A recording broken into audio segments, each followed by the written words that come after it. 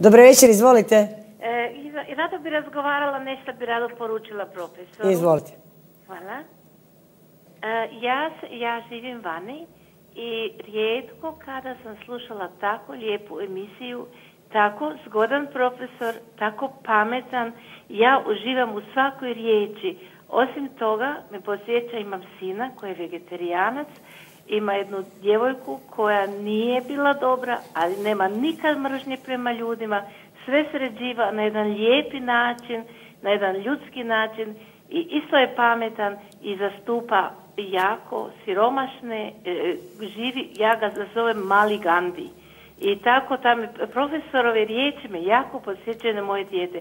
Momentalno sam u Zagrebu i sad puno i mislim na djecu i drago mi je da sam srela tako jedno pametno stvorenje i, i ponosna sam da to ima Hrvatska, jer to ne, nema puno takvih.